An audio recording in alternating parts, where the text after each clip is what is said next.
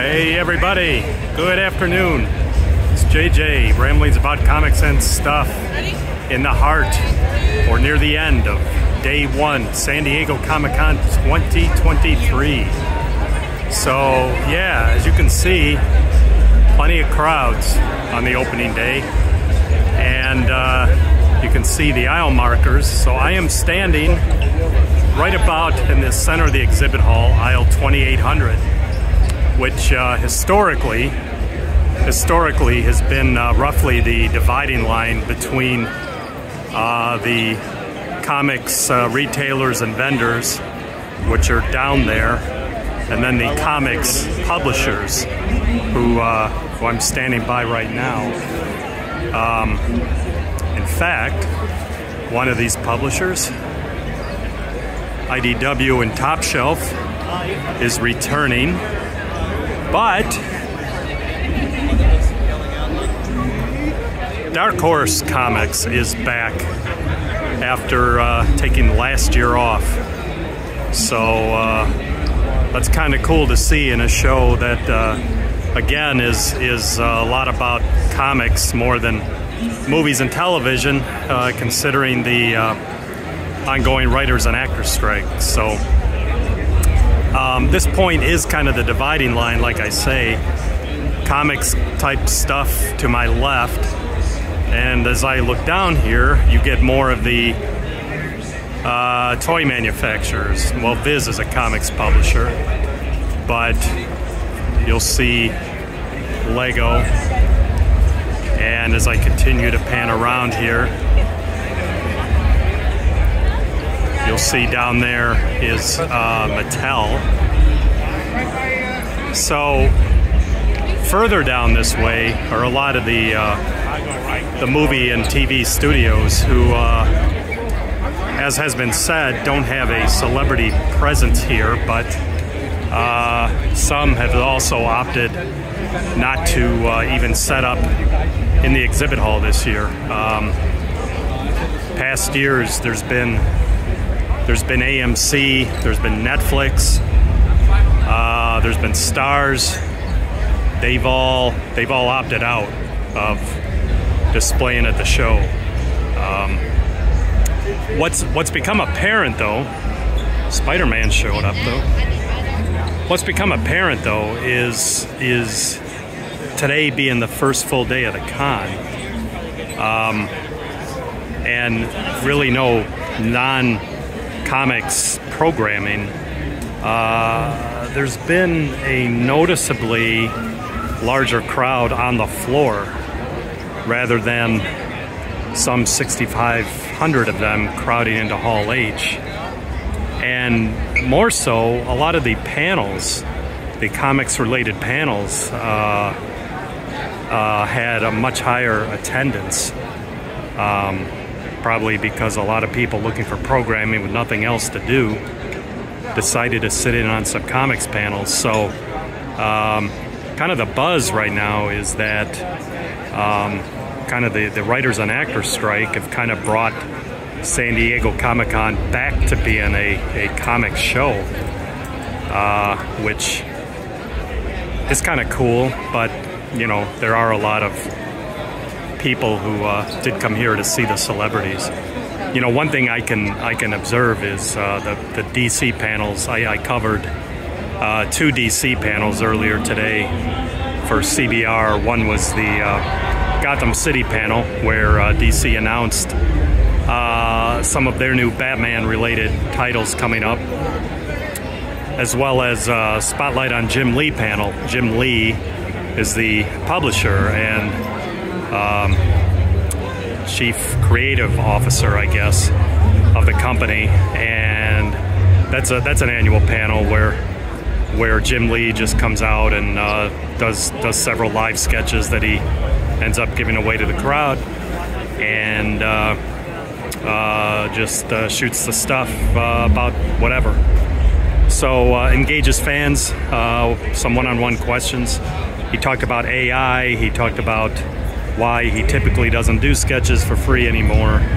Um, he talked about DC's flagship characters and and how and why people identify with them. Uh, it was interesting, but what I'm getting at is it was hard to get into some of these panels. There, there were there were uh, lines of people waiting to get in, and uh, probably not everyone got uh, got to get in. So it's been it, has been a, a, a, cool but different vibe, um, more more comic centric, like like the comic cons of the the 90s and early 2000s and the pre Hall H days. Um, maybe what I'll do is take a walk. The crowd has thinned out from this morning.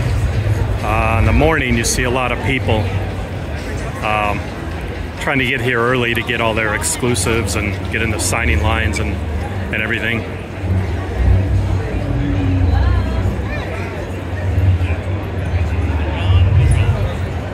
But here's uh, here's a little closer look at uh, Dark Horse Comics booth. In they've got some cool. Uh, they've got some cool looking statues in here. My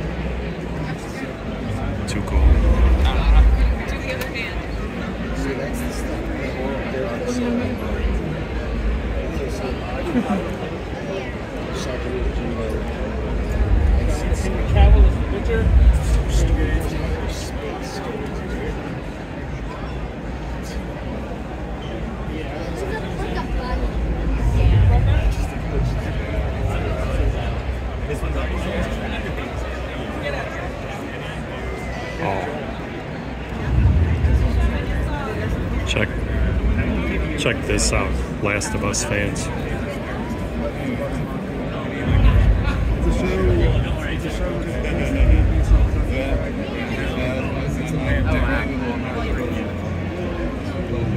Man, those fungus zombies give me nightmares.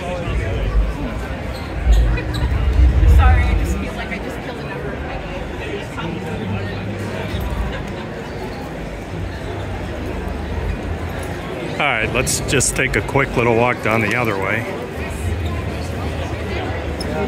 You know, one of the uh, publishers that actually has returned also is DC Comics. Speaking of them, and uh, but they're actually set up in CW's old booth, which is back in the corner, and we'll cover that uh, maybe on Sunday when I do a walkthrough through the uh, through the show.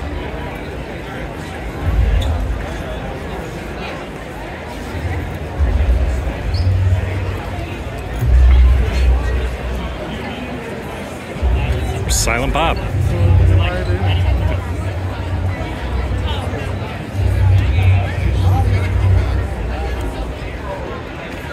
How you doing, Bob? Right on.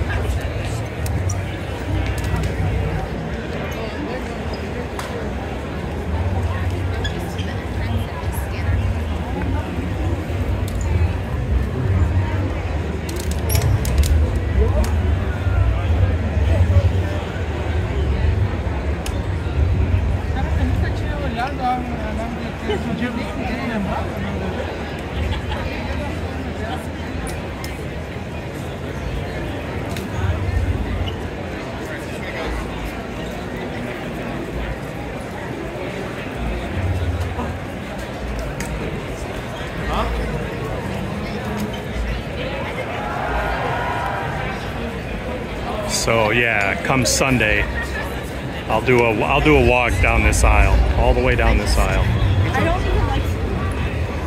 and we'll see uh, what else is going on over the weekend. So anyway, that's it for now, gang. Uh, JJ ramblings about comics and stuff. Gonna walk around, check some of this stuff out, and uh, I'll come back on tomorrow. And uh, I think you know what I'll do tomorrow. Speaking of Comic Con being about comics again, I'll go do a video from the uh, comics uh, retailers area and uh, show uh, where Comic Con kind of had its origins, old comics. So, so that's it for now, gang. JJ Ramblings about comics and stuff. Signing out. See everyone tomorrow.